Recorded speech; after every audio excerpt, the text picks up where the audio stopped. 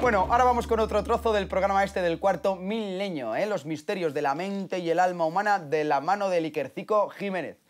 Mira, ese programa tiene mucho que ver con la filosofía. A mí mucha gente me pregunta por la calle, Santiago Auserón, ¿tú cómo lo haces para componer las letras de las canciones?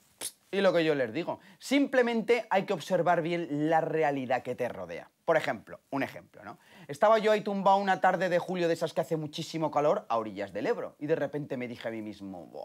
Arde la calle al sol de poniente. Y en estas que me vuelvo así, digo, mira, hay tribus ocultas cerca del río. De esas tribus que se ponen en julio ahí ocultas cerca del río. Y en estas que pasaba un amigo y me dice, ¡wey! Santiago, ¿qué haces ahí? Digo, por aquí, chico, esperando que caiga la noche. Y me dice, jodo, pues hace falta valor. Y de esa conversación me saqué la letra de la escuela de calor. Muchísimo eso, todo tú, ¿eh? Simplemente hay que observar la realidad, lo que pasa a tu alrededor. Mira, si me concentro ahora y observamos lo que pasa, sacamos la letra de una canción. Ya verás.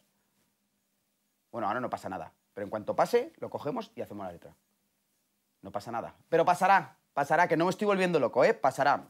Estoy volviendo loco. No me estoy volviendo loco, ni poco a poco, poco a poco, me estoy volviendo loco, poco a poco, poco a poco. Ahí está, la letra de la canción. No sirve, porque es copiada. Sí, además que tiene razón mi tato, que es una tontada de canción. Bueno, venga, vamos a ver el cuarto milenio ese.